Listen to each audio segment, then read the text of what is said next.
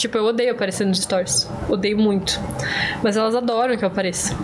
Aí eu tento ser aquela pessoa que tipo, gravo stories na rua e pega e grava stories super espontâneo. Aí eu tenho que fingir que eu tô espontânea, tipo, eu pego stories. o- Tá com a cara fechada daí. Oi, pessoal. É. Não, e Respira aí bem pego, fundo. tô, sei lá, tô parada aqui, tô sentada. Aí eu pego, levanto, pego, fe- abro alguma porta, fecho alguma porta e pego e começo a andar pelo meu apartamento que tem 60 metros quadrados. Não tem nem onde andar no negócio. Começo a andar pra ter um movimento e fecho uma porta, finge que eu tô fazendo alguma coisa e vou conversando. Porque é o que funciona, né? É, tipo, cotidiano, assim, né? Incluir É. as coisas que tu. Elas gostam bastante. Eu odeio postar stories. Mas funciona, gente. Tem que fazer o que funciona, sabia? Mas não acho que é, tipo, meio foda, não só pra ti, assim, mas pra todo mundo que a gente cria um mundo meio artificial, assim, no. Eu tento ser o mais verdadeira possível. Inclusive, elas me elogiam muito por isso, graças a Deus. Porque eu realmente tento. Mesmo, né? Pô, tem que fazer uma sequência de stories, tem que vender, tenho que ser, de certa forma, um pouco estratégica também. Eu tento ser como eu sou, e eu realmente sou como eu sou, sabe? Então eu nunca é, finjo ser alguma coisa. Eu só tô. é, mas eu falei exatamente sobre isso no negócio que eu fiz falando sobre a Bianca, eu fiz um reel sobre isso. Que tudo que é gravado com a intenção de ser postado não é real mais, porque não é a vida real. É um, tipo, é um- uma filmagem de 15 segundos. Só que a gente tenta ser o mais real possível.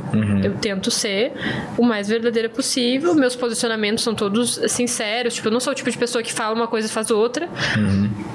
E eu tento expressar quem eu realmente sou ali, mas só vai saber quem eu realmente sou quem me conhecer pessoalmente. E aqui no podcast, por exemplo, eu consigo me um soltar um tempo pouco mais mais. longo, né? É, e lives também, nas lives eu consigo me soltar um pouco mais. Eu tenho um lado mais, mais divertido, eu consigo me soltar um pouco mais.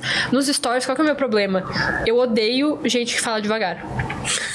Não, foi engraçado. Hoje eu botei a caixinha, ah, qual que é a minha melhor qualidade, qual que é o meu maior defeito. Aí tem. Nos dois tem, você fala muito rápido. Ah, e aí nos stories eu sempre penso, tem que falar rápido. Tem que ser objetiva, porque senão ninguém vai me ouvir. E aí eu pego e falo muito rápido e tu acaba não conseguindo ser fiel à realidade, né? Eu tenho uma, uma mulher que cozinha pra mim lá em casa e ela me seguia já no Instagram. E aí, quando ela me conheceu pessoalmente, ela ficou chocada. Ela falou: Meu Deus, tu fala muito devagar comparado com os stories. E daí eu descobri que eu falo super rápido. Mas é por isso. E aí acaba não ficando uma coisa fiel à realidade. Sim. Só que nunca vai ser. Sim, às vezes tem 15 segundos pra falar uma mensagem Exatamente. de 30. tipo, às vezes, quando eu vejo assim, ah, deu um story de 15 e um de 5 segundos. Aí eu, ah, não, dá pra falar em um. Aí eu pego e falo. blá, blá, blá. tipo, no 2 Tem que fazer um podcast?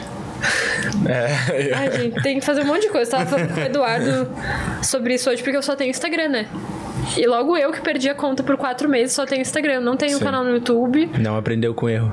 Não. é- Aprendeu, né? Ela já sabe que tem que fazer.